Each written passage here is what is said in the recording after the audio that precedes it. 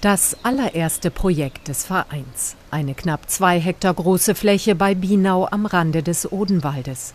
Heute ein wunderbares Fleckchen Natur.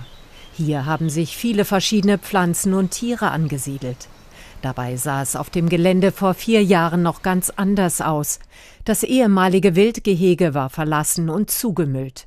Bis der Green Forest Fund die Fläche kaufte, entrümpelte und Bäume setzte.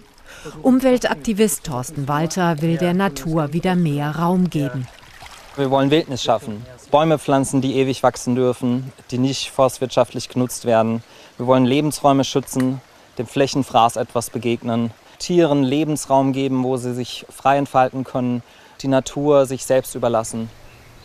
Mehr unberührte Wälder in unserem Land, eine Idee, die viele Anhänger findet. Tausende haben den Verein schon mit Spenden unterstützt oder helfen wie hier mit ehrenamtlicher Arbeit. Fast 100 Hektar hat der Green Forest Fund inzwischen erworben, 26.000 Bäume gesetzt. Eine gute Initiative, lobt der Landeswaldverband.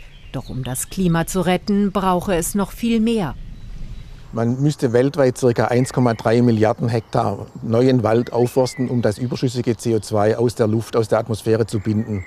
Und jeder von uns muss zunächst einmal seinen eigenen CO2-Fußabdruck verkleinern, durch Energiesparen, durch Fleischverzicht, was man alles kennt, um überhaupt einen wirksamen Beitrag äh, zu leisten. Das Klima retten mit der Wildnis von morgen. Davon sind nicht alle begeistert. In Eberbach im Rhein-Neckar-Kreis stoßen die Umweltaktivisten auf heftigen Widerstand. Fast 200 Bäume mussten sie von ihren Grundstücken wieder entfernen. Der Waldanteil sei schon groß genug, sagen Landkreis und Stadt. Man sowieso schon überall sieht, nämlich Wald. Also der grüne Balge, das sind Waldfläche auf Eberbach. Wir haben auf Eberbach 79 Prozent Wald und das ist das, was an landwirtschaftlicher Freifläche übrig ist. Und die soll offen bleiben. Thorsten Walter hat gegen die Entscheidung Widerspruch eingelegt. Die vielen bürokratischen Hürden frustrieren ihn.